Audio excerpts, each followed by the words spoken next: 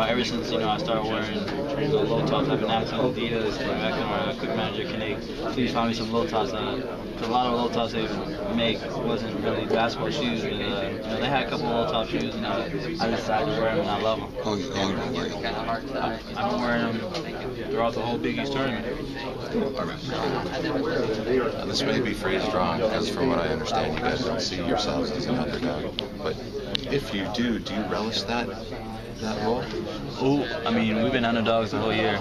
Nobody really picked us to, you know, even be here. Nobody picked us to get out of the first round, second round, third round, and even here. So, um, you know, we just continue to play as a team. Uh, you know, we know that, you know, we just got to continue to play with each other and uh, play as a team and uh, just continue to go out there and play hard. That's all we can do, and um, you know, it's been working for us.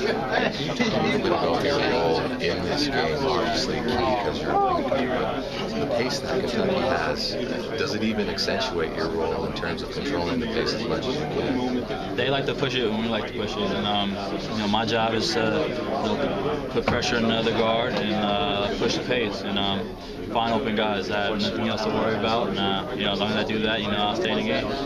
How exciting is this just overall in the Final Four? It's just a great experience. You know, we're in the Final Four, like you said. Uh, you can't really take that from us. Uh, you know, and as much as everybody doesn't like it, uh, you know, people feel like they don't deserve it. Uh, we're here, and um, you know, we're just thankful for the opportunity. We just thank God that you know He's been with us this whole time and uh, kept us healthy and uh, led us this far. Do you guys play into the rivalry as well? No, not at all. I mean, you know, it's just an, another game. You know, great team that we're playing. Kentucky obviously number one, number one, but uh, you know, just another great team that we get to play. Um, you know, another team that you know is in the way of going to the national championship. So, you know, the fans make it bigger than what it is, and, uh, but we just got to continue to play hard and uh, try and play for a chance to win the national championship. The last question was, why not?